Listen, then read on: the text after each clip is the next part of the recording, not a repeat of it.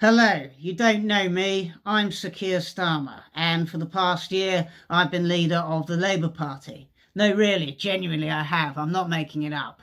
Now, there has been some criticism of me in the media over the past few days, which I think is quite unfair, as over the past year as Labour leader, I literally haven't said or done anything, although I gather that might be part of the issue.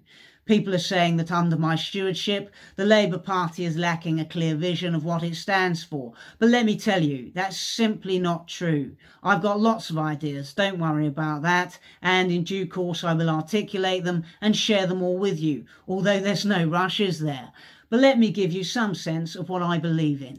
Let's start with education. I feel very strongly that children should go to school and learn things, and that would be a central pillar of my government. Although some people might disagree with that, and I'm certainly willing to listen to their views and take them into account. In terms of healthcare, I think sick people need to feel better, and I would work hard to try to make that happen. Would I raise taxes? No, of course not. Although also, yes, I would if the circumstances demanded it. What about crime? Well, this is something I've spent a lot of time researching, and my feeling is that crime is a bad thing. I want to have as little crime as possible happening under a Labour government. And wherever crime did occur, I'd like the perpetrators to receive a suitable punishment. And I'd be working very closely with the police in that regard.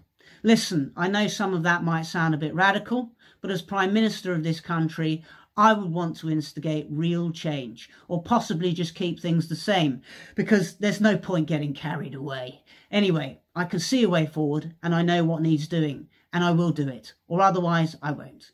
I hope that clears things up a little bit for you all.